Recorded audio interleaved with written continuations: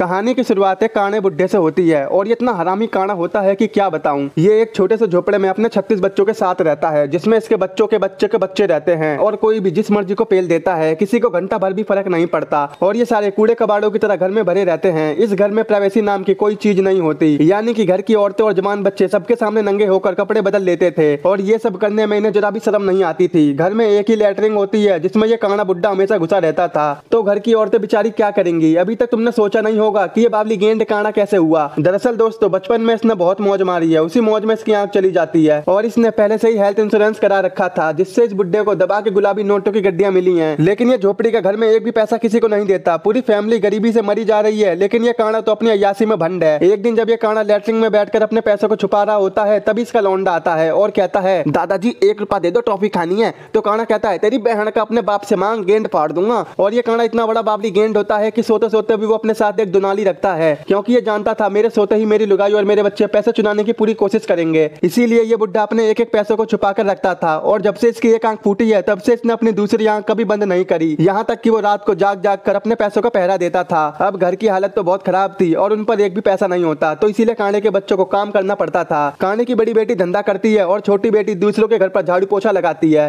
एक दिन वो अपनी बड़ी बहन से पूछती है कि, तुझे उस काम के कितने पैसे मिलते हैं? तो बड़ी बहन कहती है, अपनी गुफा अपना दाम। जैसे कि मुझे एक घंटे के सौ रुपए मिलते हैं। बस टांगे खोलो और सीधे ले लो। और तू मेहनत करके भी इतना पैसा नहीं कमा पाती। ये बात छोटी बहन को बुरी लग जाती है। वो सोचती है कि मैं उसकी जैसी कब बनूँगी और कब उतना पैसा कमा पाऊँगी। कांडे का एक लौंडा चोरी करता है और शाम तक उस सामान को बेचकर सौ दो सौ रुपए कमा लेता है। और दूसरा बेटा भी चोर होता है जो औरतों का बटुआ मारता है। यानी कि ये बटुआ चोर है। और तीसरा तो पूछो ही मत। नंबर वन बावली गेंद है, जो मीठा बनकर अपनी मीठी मीठी देता है। और शाम तक वो भी पचास साठ रुपए कमा लेता है। अब एक दिन कांडे का सबसे बड़ा लौंडा उससे कहता है कि, बापू, मुझे एक गश्ती खाना खोलना है। जरा कुछ पैसे उधार दे दो, मैं धीरे धीरे सारा एक एक पैसा दे दूँगा। तो काना कहता है, अब साले ठड़की चला जा यहाँ से, खुलवा दूँगा। अभी गश्ती खाना, एक चांटे में मुठ मार के सो जाएगा। ये सुनकर उसके बेटे को गुस्सा आ जाता है। वो कहता है, बुढ़े, में तेरे सारे पैसे चुरा लूँगा। ये सुनकर काना बाबला हो जाता है। वो उसकी गेंद पर दो लात मारकर वहाँ से भगा देता है और जल्दी से जाकर अपने पैसों को देखता है। ये साला इन पैसों को अपनी अयासी में खर्च करता था, जैसे कि दारूबाजी करता था, लौंडियाबाजी करता था और अपनी उम्र की लौंडियों को पेलने की कोई भी कसर नहीं छोड़ता था। एक आँख फूटी होने की वजह से ये साला लौंडियों को आँख भी मारता था और उन्हें इस बारे में घंटा पत्ता भी नहीं चलता था। और जब इस कांडे का नशा ठंडा होता था तो वो भूल जाता था कि उसने किस काम के लिए पैसों को खर्च किया था। इसीलिए वो हर वक्त पैसों को गिनकर उन्हें अलग अलग जगहों पर छुपा देता था।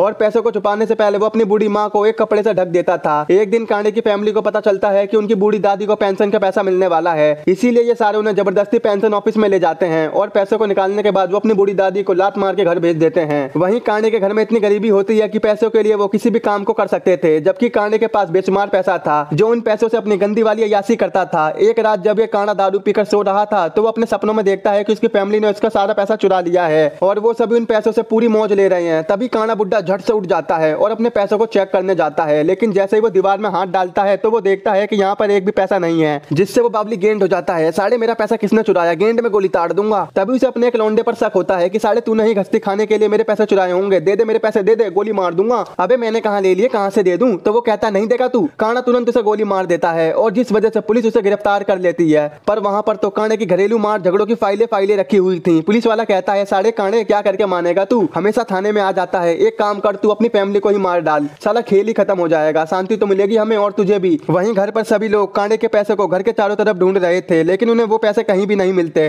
तभी वहाँ पर बुढ़ा आ जाता है। वो सीधा लेटरिन में जाकर अपने पैसे को निकालता है। दरअसल कांडे ने लेटरिन में पैसे छुपा रखे थे, लेकिन नशे में होने की वजह से उसे उस दिन वो बात याद नहीं आती। अब कांडे के जाने के बाद घर के सभी लोग उस आदमी की बुरी तरह से पिलाई करते हैं। जिसने कहा था कि उसने लेटरिन को अच्छे से चेक कर लिया है। अगले दिन जब कांडे का छोटा लौंडा मज़े देकर घर आता है तो वो अपनी भाभी को बाल धोते हुए देखता है। ये देखकर उसके दिमाग में पता नहीं क्या आता है। वो अपनी भाभी की पैंट उतारता है और भटाभट भटाभट भटाभट करने लग जाता है। ये सब करते हुए उसे कांडा भी देख लेता है। अबे तेरी यू का कर रहा है। और जब रात में सब सो जाते हैं तो वो अपनी दूसरी आँख से इधर उधर देखता है कि साला कोई जग तो नहीं रहा। तो वो तुरंत जाकर अपने बेटे की बहू को उठाता है। चल जल्दी से उठ जा। वो उसे अपनी लेटरिन में ले जाता है और अंदर जाकर कहता है, मैंने आज तुझे देख लिया कि तू मेरे मीठे बेटे के साथ क्या कर रही थी। तो वो कहती है वो कांडे पागल हो गया है क्या? मैं ऐसा काम नहीं करती। तो काना कहता है, मैं बाबली गेंद नहीं हूँ। मैंने अपनी एक आँख से देखा है कि तू क्या कर रही थी। और जब ये बात मैं तेरे बाबले पति को बताऊँगा तो वो तेरी गेंद पर लात मार के तुझे घर से निकाल देगा। ये सुनकर वो कहती है ओ ससुर जी, अब जिद छोड़ो। पेल तो सारी रात बहू तो पिलवाएगी कांडे राजा के साथ। तो फिर ये बुढ़ा लेटरिन में ही उसका ढोल बजा देता है। अगले दिन जब ये काना फुल सेट होकर घूम रहा था, तभी उसे एक मोटी लौंडिया मिलती है, जिसे देखकर वो उसका दीवाना हो जाता है। तो ये काना उससे वहीं पर भटाभट भटाभट भटाभट करने लग जाता है। और फिर ये दोनों दबा के दारूबाजी करते हैं और फुल मज़े मज़े लेते हैं। बुढ़ा उससे कहता है कि, साला मुझसे कोई प्यार नहीं करता। बस सभी लोग मेरे पैसों के पीछे पड़े हैं। जिसके बाद काना उस औरत को अपने घर पर ले आता है और अपनी लुगाई को उठा के बोलता है, उठ मेरे बेड से, आज के बाद सो मत जाइयो। और अब से इस बेड पर मेरी नई होने वाली लुगाई सोएगी। ये सुन उसकी पुरानी बीबी को गुस्सा आ जाता है। वो अपने बेटे को उठाती है। रुक जा साले, अभी मेरे लोंडे तेरी ऐसी तैसी करेंगे। लेकिन कोई भी नहीं उठता, क्योंकि ये साला काना पीछे दुनाली लेके खड़ा था। पर तभी पीछे से काना का बड़ा वाला लौंडा कांडे की बंदी को रगड़ देता है। अब धीरे धीरे कांडे को उस औरत से प्यार हो जाता है और अपने पैसों को उस पर अंधाधुन उड़ाने लगता है। जिन पैसों को उसने अपनी फैमिली को कभी भी नहीं दिया, वो उस औरत पर उड़ाता है, जिस वजह से घर के सभी लोग कांडे से नफरत करने लगते हैं और उसे मारने के लिए वो सभी प्लान बनाते हैं। अगले दिन काना अपनी बंदी के साथ अपने पूरे परिवार को लेकर चर्च में जाता है, जहाँ पर वो उससे शादी कर लेता है और शादी की खुशी में वो सबको पार्टी देने के लिए भैंसों की तरह ट्रक में भरकर रेस्टोरेंट ले जाता है, जहाँ उसकी फैमिली के लोग उसके खाने में जहर मिला देते हैं और काना उस खाने को बड़े मज़े से खा जाता है, लेकिन थोड़ी देर में वो समझ जाता है की उन सभी ने उसके खाने में जहर मिलाया है। इसीलिए वो उन लोगों से कहता है की मरने से पहले मैं पुलिस को इसके बारे में सब कुछ बता दूँगा, की तुम सभी ने मिलकर मेरे खाने में जहर मिलाया था। इसके बाद वो साइकिल लेकर वहाँ से पुलिस थाने जाने लगता है, जबकि चूतियों को थाने के बजाय हॉस्पिटल में जाना चाहिए था। दरअसल कांड अपने आप को बचाने नहीं, बल्कि उन लोगों को मरवाने के लिए जा रहा था, लेकिन जहर खाने की वजह से वो ज़्यादा दूर तक नहीं जा पाता और एक नदी के किनारे गिर जाता है। अब क्योंकि उसने पूरा खाना तो खाया नहीं था, इसीलिए वो उल्टी करके उस खाने को निकाल देता है, जो जहरीला था और इस वजह से वो बच जाता है। ऐसा भी होता है। खैर, फिर वो बदला लेने के लिए रात को अपने घर पर दारू छिड़क कर वहाँ पर आग लगा देता है और दूर खड़ा होकर अपने परिवार को मरता हुआ देखने लगता है। लेकिन इससे पहले वो आग पूरे घर में फैलती घर में सभी लोगों को आग के बारे में पता चल जाता है और वो लोग घर से बाहर निकल जाते हैं। वहीं वो सभी लोग कांडे को एक पेड़ पर चढ़ा हुआ देखते हैं तो वो लोग उस पर पत्थर फेंक कर उसे जान से मारने की कोशिश करते हैं, लेकिन उसे कुछ भी नहीं होता और वो वहाँ से भाग जाता है। अगले दिन घर के सभी लोग अपने घर को ठीक करने की कोशिश करते हैं, लेकिन वहीं दूसरी तरफ़ काना अपने घर को एक आदमी को बेच देता है,